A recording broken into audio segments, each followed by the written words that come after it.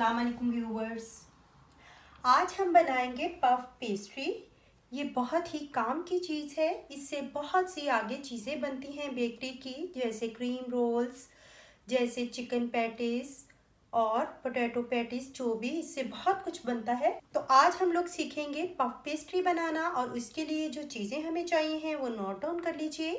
ये मैंने 300 ग्राम लिया है मैदा, दो से तीन टेबलस्पून मैंने लिया है ऑयल और मैंने आधा कप, पौना कप लिया है।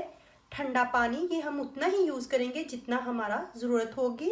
300 ग्राम मैदे में मैंने लिया है 200 ग्राम बटर इसको मैंने इस फॉर्म में कर लिया है, सीधा करके फ्लैट और इसको मैं अब फ्रीज़र में रख दूँगी। सबसे पहले हम लोग गूँधेंगे डो इसको हम लोग रखते हैं फ्रीज़र में, और डो में डालेंगे हम लोग तकरीबन ये एक टीस्पून नमक। मिक्स करेंगे। और ये ऑयल डाल देंगे। इसको भी मिक्स करेंगे। और ठंडे पानी से ये डो गूंदेंगे। और डो हम थोड़ी सख्त गूंदेंगे। गीली गीली नहीं होनी चाहिए ये डो। जैसे हम लोग आटा गूंदते हैं, ये गीली गीली डो नहीं होनी चाहिए। सख्त डो गूंदेंगे। जितना पानी यूज़ होगा, उतना ही लगाएँगे। अगर पानी कम पड़ जाएगा तो हम लोग और भी ले सकते हैं। ये डो जो है, इस तरह की होनी चाहिए। वेट नहीं होनी चाहिए, सख्त सख्त डो होनी चाहिए।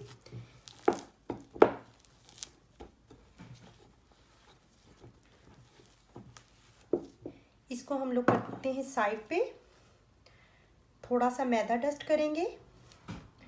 और इस डो को हम लोग पाँच मिनट के लिए नीट करेंगे। तरह से?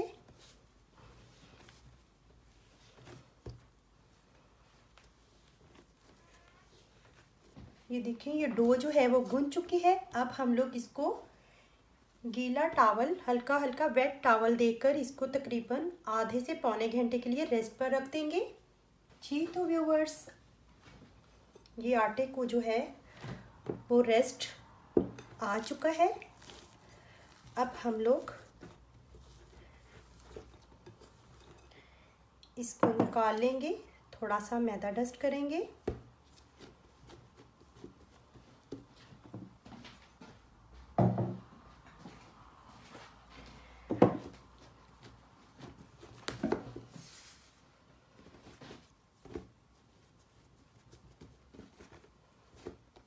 और थोड़ा सा ऊपर भी मैदा डस्ट करेंगे और इसको थोड़ा सा बेलेंगे।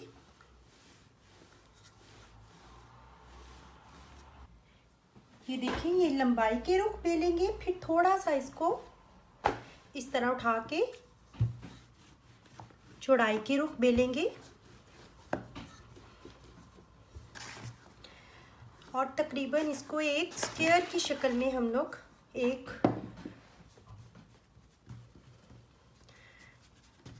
थोड़ा सा ये चौड़ाई में हम लोग कर देंगे। तरह से?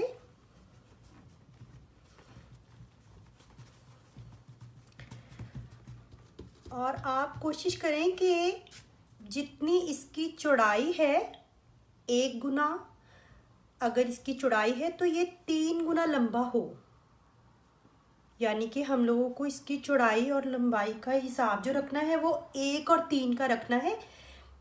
जितनी चौड़ाई है और उससे दो गुना और, यानी कि एक गुना चौड़ाई और तीन गुना लंबाई हो। इस तरह हम लोगों को इसको रेडी करना है। ये देखें अब मैं आपको अंदाज़न इसको नाप कर दिखाती हूँ। ये देखें ये तकरीबन एक जो है, हमारा ये चमचा है, ये मैंने लिया है। और ये एक है, और ये हमारे तीन होने चाहिए। ये देखें एक ये दो और ये तकरीबन तीन तीन से थोड़ा सा कम है। तो ये चलेगा, ये हम लोगों ने रेडी कर ली है। अब हम लोग, ये जो मक्खन है, ये मैंने फ्रीज़र से निकाल लिया है। इसको मैं थोड़ी सी जगह छोड़कर इसको रख दूँगी और इसको यूँ स्प्रेड करूँगी। तरह? इस तरह इसको दो हिस्सों पे मैं स्प्रेड कर दूँगी और एक हिस्सा खाली छोड़ूँगी।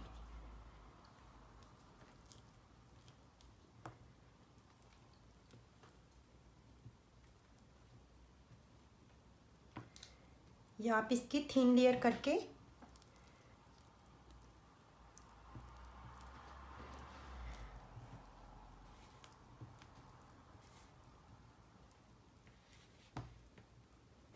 ये इस तरह आप कर करके इसको दो हिस्सों पर स्प्रेड कर देंगे, यानी कि जो डबल है, इस पे स्प्रेड कर देंगे और एक हिस्सा जो है उसको छोड़ देंगे। इस तरह।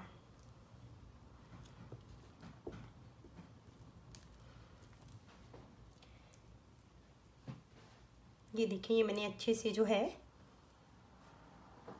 आप फोर्क की मदद से भी कर सकते हैं। इसका लेवल ये देखें। थोड़ा सा बस ये साइडों से थोड़ी सी जगह छोड़ दी है। बहुत शुरू से शुरू नहीं कर देना। ये देखें, ये तकरीबन दो हिस्सों पर जो है वो मक्खन लग चुका है और ये एक पार्ट जो है वो खाली है। अब जो खाली पार्ट है उसको हम लोग यहाँ पे रख देंगे और इस पार्ट को उठाकर इसके ऊपर रख देंगे इस तरह से। और ये देखें ये रेडी हो चुकी है। इस तरह से अब ये बिलने के लिए रेडी है। अब हम लोग थोड़ा सा मैदा स्प्रेड करेंगे इसके ऊपर और इसे ध्यान से उठाकर नीचे भी मैदा स्प्रेड करेंगे और इसे रोलर से हल्के हाथों से बेलेंगे।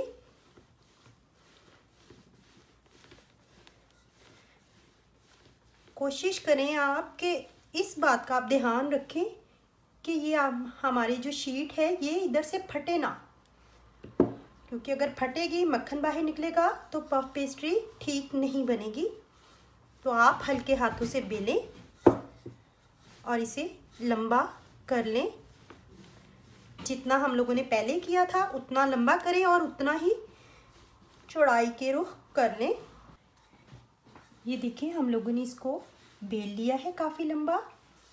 अब हम लोग दोबारा से इसको इस तरह से उठाकर और इस तरह से रखेंगे और एक दफ़ा फिर इसको बेलेंगे। थोड़ा सा मैदा डस्ट करेंगे।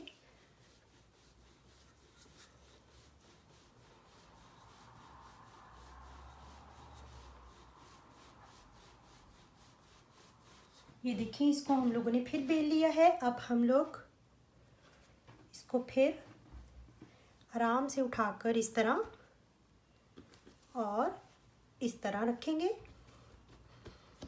और खुशका स्प्रेड करके इसको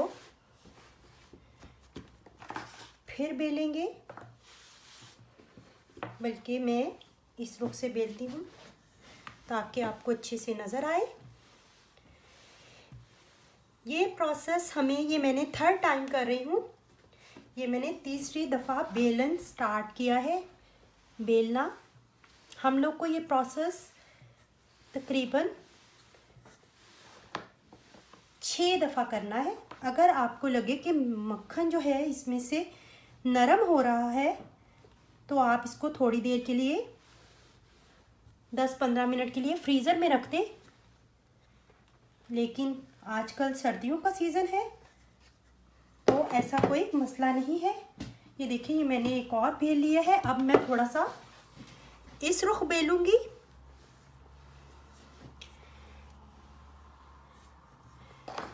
इस तरह से इतना आप बेलते जाएँ और फोल्ड करते जाएँ।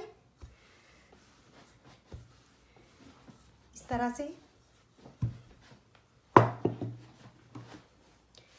ये देखिए ये बेल चुका है एक दफ़ा फिर।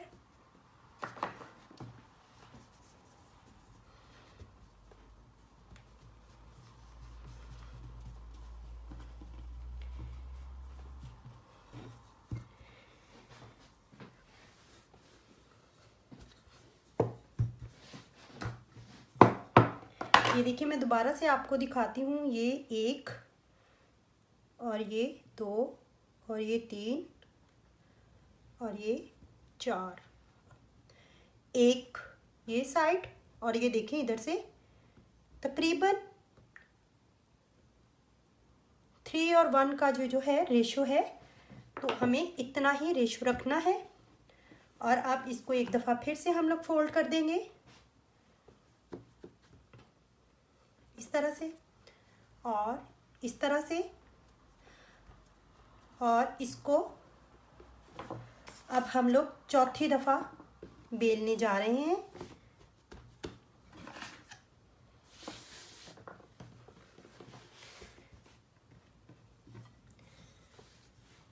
आराम आराम से इसको, ये देखिए हल्का हल्का इसको दबाकर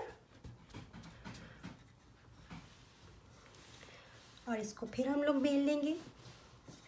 मैं इसका रुख चेंज करके इसको बेलती हूँ, ताकि आपको अच्छे से नज़र आए। थोड़ा सा मैदा सेपरेट करेंगे। थोड़ा सा नीचे भी मैदा सेपरेट करेंगे। इस तरह से। और इसको एक बार फिर बेलेंगे।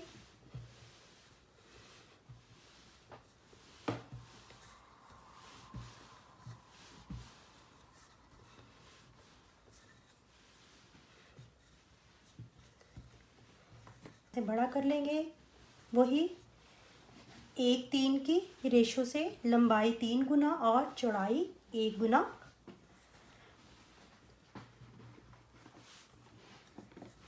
पांचवी दफ़ा भी बेल चुकी है। अब हम लोग थोड़ा सा इसको इस साइड्स पे बेलेंगे। लंबाई हम लोगों ने कर ली है बराबर और थोड़ा सा हम लोग इस साइड पे बेलेंगे। इस तरह से। देखिए हमें काटने की भी किनारे ज़रूरत नहीं है, बड़ी, देखिए, अच्छे तरीके से स्मूथ से हमारे बन रहे हैं। और देखिए, हम लोग हाथों से इसको अच्छी सी शेप दे रहे हैं।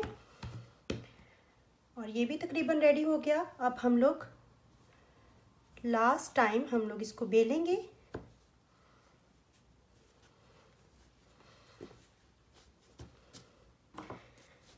एक्स्ट्रा डस्ट जो है इसकी हटा देंगे।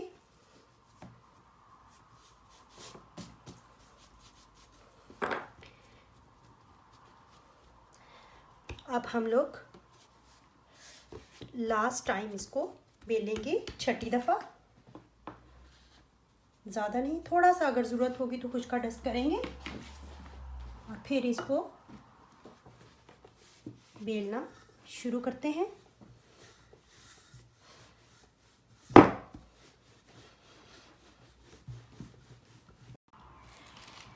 देखिए व्यूवर्स ये लास्ट टाइम ये बेल चुकी है। अब मैं ये देखें, इतने साइज़ का तकरीबन इससे थोड़ा सा बड़ा मैंने बटर पेपर लिया है। ये हमारी रेडी है, ये देखें इसकी मोटाई। ये इतनी मोटी होनी चाहिए है। अब हम लोग इसको सेव करेंगे और बड़े ध्यान से मैं इसको उठाऊँगी। और ये नीचे बटर पेपर बिछा दूँगी। और इसको हम लोग इस तरह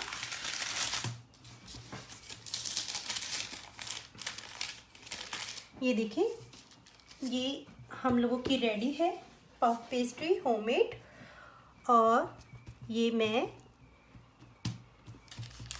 ये देखें इसकी इतनी मोटी हमें चाहिए है, बहुत मोटी या बहुत बारीक नहीं, ये थोड़ी सी मोटी होती है। इसके साथ हम लोग जो है, चिकन पैटिस बना सकते हैं, क्रीम रोल बना सकते हैं, बाकर खानियाँ बन सकती हैं, बहुत कुछ बनता है। इस पफ पेस्ट्री शीट से तो इसको आप रेडी करेंगे, वैसे ये बाज़ार से भी मिल जाती है। तो ये थी हमारी आज की रेसिपी अब इसको मैं आपको, ये देखें, ये आप नीचे बटर पेपर बिछाएँ, इसके ऊपर ये शीट रखें और इसको यूँ हल्के हाथों से फोल्ड करते जाएँ। ये देखिए मैं फोल्डिंग आपको दिखा रही हूँ। इस तरह आप फोल्ड करते जाएँ और इसको आप फ्रीज़र में तकरीबन एक से दो माह के लिए आराम से यूज़ कर सकते हैं। तो ये देखिए ये मैंने आपको पूरा प्रोसेस दिखाया है होममेड पफ पेस्ट्री बनाने का और इसको महफूज करने का। तो चलें, अब हम लोग इंशाल्लाह नेक्स्ट वीडियो में प्रो रेसिपीज़ में इसी पफ पेस्ट्री से चिकन पैटिस या कुछ ऐसी चीज़ बनाएँगे। तो चलें, ये थी हमारी आज की रेसिपी अगर आपको ये पफ पेस्ट्री की रेसिपी अच्छी लगी है तो लाइक करें कमेंट करें और अपने फ्रेंड एंड फैमिलीज़ के साथ शेयर भी करें और मिलते हैं नई रेसिपी के साथ प्रो रेसिपीज़ में। तब तक के लिए अल्लाह हाफिज़।